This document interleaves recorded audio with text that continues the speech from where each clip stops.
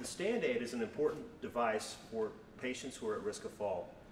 It simply operates by removing the seat pads, twisting them out of the way, approaching the patient with the device. Patient's feet go on the platform, knees up against the knee brace, lock the wheels.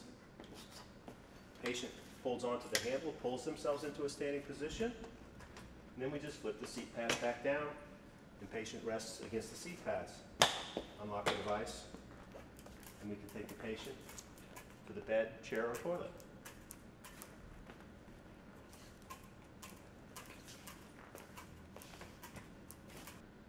To do the transfer with the stand aid through a tight space, you can see that it easily maneuvers through the doorway and we can approach the toilet.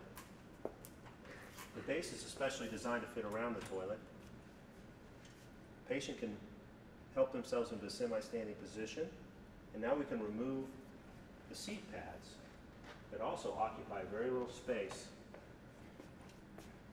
and allow the patient to seat themselves down on the toilet as they would normally.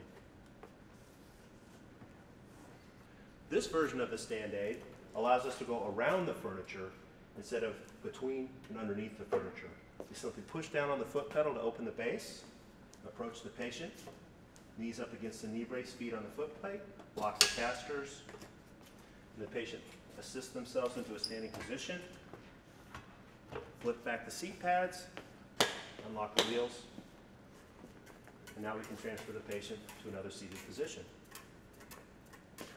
Sometimes a patient requires additional support in the stand aid. We can use the support strap, connect it to the front hooks, behind the patient's back, now the patient is secure in the stand aid. And that's how that works.